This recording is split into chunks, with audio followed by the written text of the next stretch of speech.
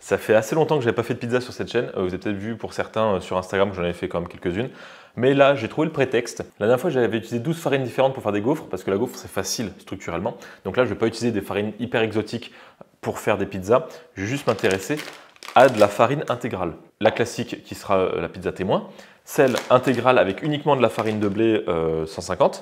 Je me dis, s'il n'y a pas assez de tenue dans celle-là parce qu'elle sera trop friable, pourquoi ne pas ajouter le gluten qui est merveilleux. Et si vous voulez le détail des différents ingrédients, euh, des quantités, euh, il y a tout qui est marqué en description. Pour une fois, on va en profiter. Euh, je vais commencer par la pâte avec la farine classique et faire pour deux pizzas à chaque fois. Ça, ça en fait 6, c'est gérable. Au-delà, ça fait beaucoup. du sel, de l'eau, de la farine et un peu de levure, ça devrait aller. Est-ce qu'il me reste de la levure? Parfait, il me reste un sachet. En espérant qu'il marche. Donc là, il me faut un demi-gramme de levure. je vais essayer avec ça de faire à peu près la même chose à chaque fois. Un demi-gramme. Et ces quantités marchent pour de la farine blanche. Après, avec la farine intégrale, peut-être qu'il faudra mettre un peu moins d'eau. Ça sera à voir en fonction de la consistance. Et 5 grammes de sel. Et là, on s'amuse pendant 10 minutes. Voilà. Je dis toujours 10 minutes, mais c'est jusqu'à ce que flemme arrive. Voilà, c'est à peu près pétri comme il faut. Un petit filet d'huile. Pâte suivante. Je vais mettre un petit peu moins d'eau. Et après, on verra si j'en rajoute. On arrive quasiment à la même chose. Hein. Je pense que je vais enlever 10 grammes. Euh, la texture est évidemment pas la même. Euh, je ne sais pas comment ça va pouvoir s'étaler bien comme il faut. Peut-être que ça sera plus dense, peut-être que j'étalerai au rouleau. Pas assez de saladier. Je vais mettre à pousser là-dedans. Je rince le saladier et on passe à la dernière pâte. Et je vais enlever 10% de la masse de farine pour mettre du gluten. Donc au lieu de mettre 350 grammes, ben, je vais en mettre 325, 315. Parce que le gluten, dès qu'il se met à l'eau, il fait vite un chewing-gum, un truc bien collant. Donc euh, bien mélanger la farine avant. Déjà la pâte elle, ne réagit pas de la même façon, ce qui est normal. Voilà, la texture est un peu plus dure, il y a un peu plus de résistance, ce qui est cohérent. Euh, il y a un effet du gluten, oui, tant mieux. Je vais laisser reposer une petite heure à température ambiante, puis au frigo jusqu'à demain matin. Après une nuit au frigo et la matinée, c'est-à-dire entre 5h et 10h à peu près, euh, à l'extérieur. Donc là on a une pâte qui a globalement gonflé. La pâte complète, complète, je sais pas si la texture, si c'est clair, mais c'est pas vraiment lisse. On voit qu'il y a des, petits morceaux qui sont séparés les uns des autres, alors que celle-là, elle paraît beaucoup plus lisse et travaillable. Il aurait peut-être fallu faire ça en double aveugle, mais en tout cas, j'ai mes a priori, mais on va essayer de faire au mieux. Vous voyez cette texture un petit peu peau d'orange? Que là, il y a un peu moins avec le gluten. Un petit peu d'huile d'olive, la corne à pâtisser, et je vais séparer chaque boule en deux pâtons. Là, cette pâte, elle est parfaite. Elle est souple, elle est belle. Regardez comment elle est lisse. On les remet à gonfler ici. La complète complète. Eh ben, ça va être compliqué, je pense, à, étaler parce que là, elle s'est vite compact, compactifiée, compactée. Et la dernière, avec ajout de gluten, ben, on sent qu'il y a une différence. Il y a quand même beaucoup de textures un peu sableuses, euh, des petits morceaux en gros de farine complète. Mais il y a une structure en plus qu'il n'y a, pas, a pas là. Il paraît cohérent. Après, toute la cuisson va nous dire ce que ça peut donner. Et on va revenir dans une petite heure, au moins, le temps de faire les sauces. Pour la sauce tomate, euh, rien de bien compliqué. Euh, dans un fond d'huile, un petit peu d'oignon, un peu d'ail, quelques épices, piment, paprika fumé, cumin, coriandre, sel, poivre, des tomates en boîte, et voilà, et un petit peu euh, d'ail, comme ça au miel. on va pas épiloguer là-dessus. Sauce tomate mijotée avec quelques épices. Pour le pesto, j'avais déjà une vidéo qui comparait un petit peu comment faire un pesto de crise. Donc je laisse éventuellement regarder ça. Et je l'écrase avec un petit peu de sel pour le côté abrasif. Mais bon, vu que c'est pas de l'ail frais, il va très bien s'écraser. Le basilic du balcon. Euh, à côté de ça, je vais mettre quand même quelques pignons. Et je les coupe aux graines de tournesol. Ils sont quand même bien moins chers. Et là, on obtient une pâte, on rajoute un petit peu d'eau et c'est prêt. Normalement, c'est de l'eau de cuisson des pâtes que je mets. Quand je fais un pesto avec les pâtes, comme ça, ça ça le dilue un petit peu et ça le rend un peu plus liquide. Pour enrober les pâtes, c'est sympa. Ça sera très bien pour deux ou trois pizzas, ça. J'espère trois. Voilà, je couvre, je mets ça de côté. Je crois que ça m'apprendra à filmer euh, à midi, un jour de semaine. Donc là, c'est principalement de la semoule fine. Et on va commencer par la classique. Donc là, elle s'étale très bien, seulement à la main, en tirant un petit peu. je vais essayer quelque chose que je ne fais pas d'habitude, c'est-à-dire l'étaler là, et après la mettre sur euh, la pelle. Donc là, c'est de l'oignon à la sauce tomate. Hein. On aime bien les enfants qui crient plus, c'est pas juste pour parler, c'est vraiment des, des cris. Bref.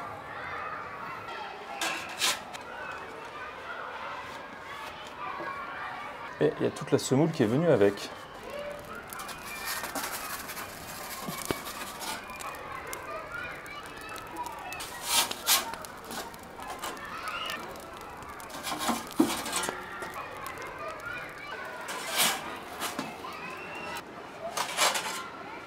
Mis à part un petit trou là, elle est plutôt très correcte.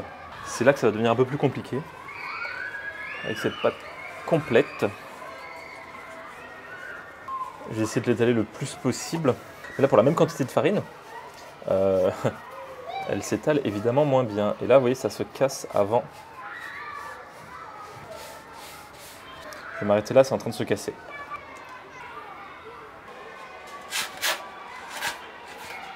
Elle se prend plus facilement. Je suis brûlé les cheveux. Un petit peu baisser le feu pour qu'elle puisse cuire un peu plus longtemps.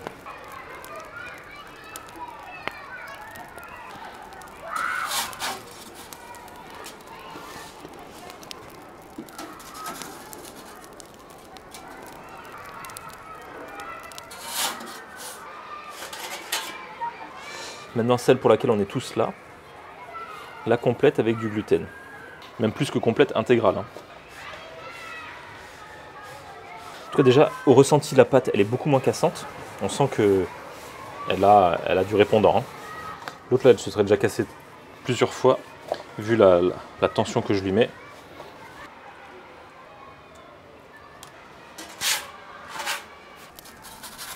En tout cas, elles sont plus faciles à pelleter. On voit qu'au fond les bulles sont un peu plus grosses. Un peu.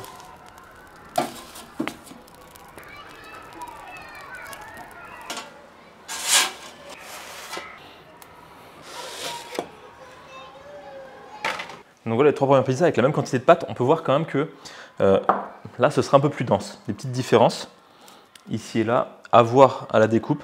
Je vais faire cuire les trois autres et après on regarde tout ça. Peut-être qu'on aura mangé entre temps.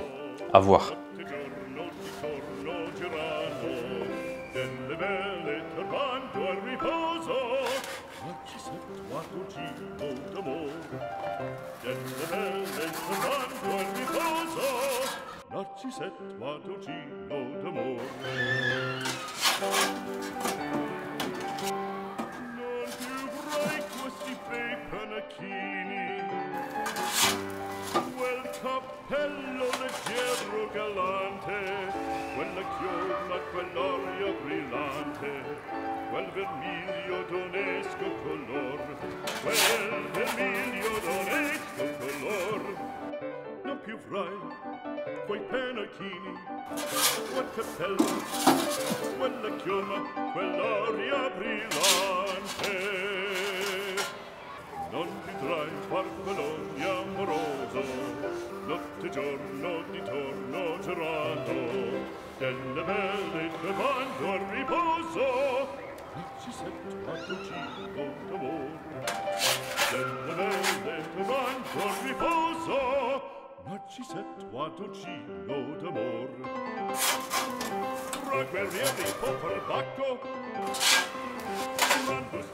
voilà les 6 pizzas, farine euh, T45, T150 et T150 plus gluten.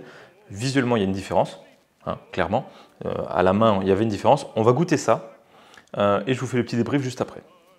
Et je vous montre un petit peu l'intérieur, les coupes, tout ça.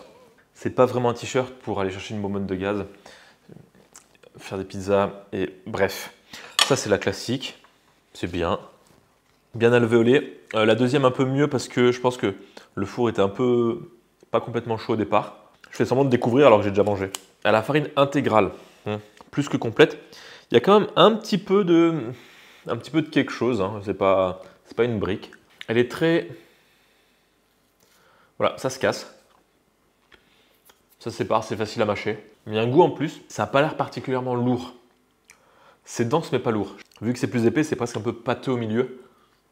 Vous avez la sauce tomate. Pas gênant, gênant. À manger une pizza, je préfère y aller avec de la vraie farine qui va bien gonfler, qui va être bien. Je pense qu'il faut s'y habituer. C'est pas genre la, pizza qui est bonne intrinsèquement, comme pourrait l'être une de celles-ci. Là où c'est le plus intéressant, c'est de voir ça. Est-ce que ça fait une différence? Euh, La croûte, un peu plus. Déjà, ça s'est allé beaucoup mieux. Et en bouche, qu'est-ce que ça donne? On est vraiment entre les deux en texture. Conclusion préliminaire, sauf problème vraiment avec le gluten, mais je veux dire, euh, de toute il y a du gluten là-dedans aussi.